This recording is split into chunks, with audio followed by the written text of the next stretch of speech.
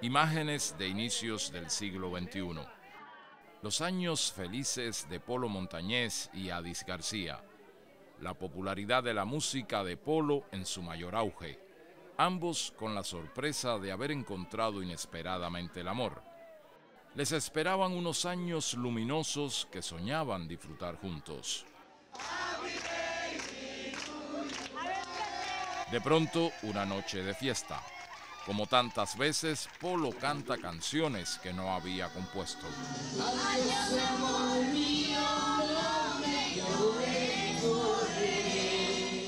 Aquella noche no tuvo amanecer para Polo Montañés y en muchos sentidos para Adis García.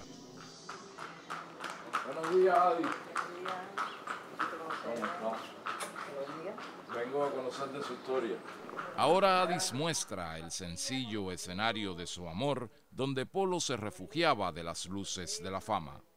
Mire, Julio, esta casa está en construcción como usted la ve, pero aquí vivimos los tres años y medio, muy bien que nos fue todo. Aquí andaba él, descanso, en paños menores, aquí hacía su café.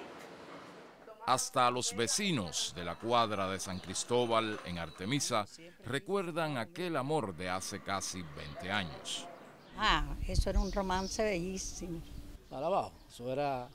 En el portal siempre estaban uno tras el otro, y para acá y para allá, y, y él llegaba y era atrás de Adi. Bueno, Fue la época en que Adis inspiró a Apolo una canción que le ha dado la vuelta al mundo.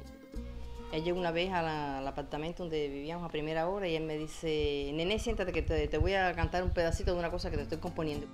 Hay una flor un día en el camino. Él plasmó en esa canción exactamente como me conoció.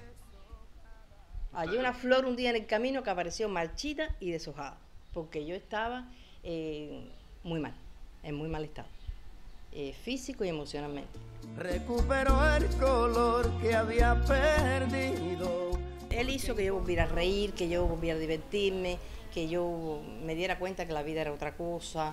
De aquella flor, hoy el dueño soy yo. Sin embargo, aunque no sea Apolo quien la cante, Adis evita escuchar la canción que un día inspiró. Pero ya oírla así, no, no me acabo de acostumbrar.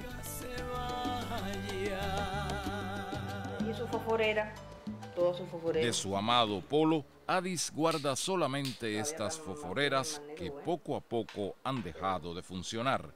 Pero ella siente que atesora mucho más que si hubiera podido heredar los derechos de autor o el dinero de sus actuaciones. Con toda certeza conocí el amor, el verdadero amor. Con ese convencimiento, la mujer que inspiró la obra de Polo Montañés más difundida en el mundo pudo enfrentar la vida todos estos años. Le acompaña siempre una estrofa de la canción. Y con la luz del sol se fue la sombra, y con la sombra la distancia y el olvido. Julio Acanda, Sistema Informativo de la Televisión Cubana.